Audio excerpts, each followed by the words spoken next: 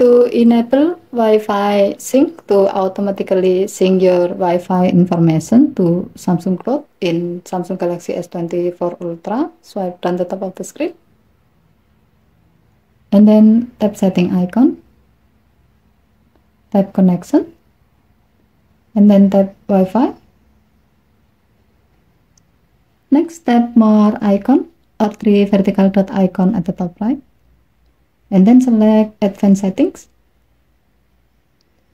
Now tap the gray on off switch next to sync with Samsung Cloud until the switch turns blue to turn it on.